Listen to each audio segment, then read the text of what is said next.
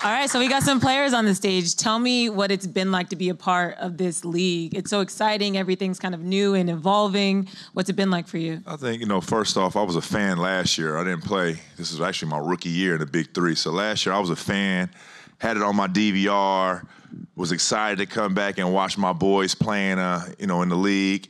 And then um, got a call from DerMarr Johnson saying, "Hey, you want to run, want to rock with the uh, Threes Company this year?" And I said, "Yeah, I'm with it." And had an opportunity to join this guy right now with a chance to win a championship this year. Uh, the same. Um, actually, last year, I didn't get my paperwork in last year. and, my, and my boy Kenyon tried to sneak me in. It didn't work, but uh, I made sure this year, I was in Korea, I made sure this year that I um, had, I took out all the paperwork and I was ready to go.